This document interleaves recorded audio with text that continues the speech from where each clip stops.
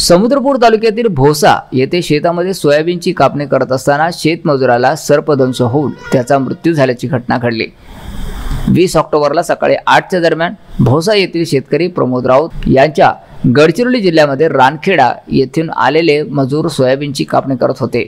यावेळी सोयाबीनच्या शेतात अचानक विषारी सापाने माती मजूर विजय भजनराव गेडाम वय वर्ष पस्तीस राहणार रानखेडा जिल्हा गडचिरोली याला चावा घेतला. ही बाब मजुरांच्या आणि इतर सहकारी यांच्या निदर्शनास येतात. विजय याला तातडीने उपचारासाठी रुग्णालयामध्ये नेत असताना त्याचा वाटेतच मृत्यू झाला. या घटनेची माहिती समुद्रपूर पोलिसांना मिळताच पोलीस कर्मचारी निलेश पेटकर रामहरी शिरसाट यांनी प्रेत उत्तरीय तपासणीसाठी हिंगणघाट येथील उपजिल्हा रुग्णालयामध्ये दाखल केले. पुढील तपास ठाणेदार हेमंत चांदेवार यांच्या मार्गदर्शनात निलेश पेटकर आणि रामहरी शिरसाट करत आहेत.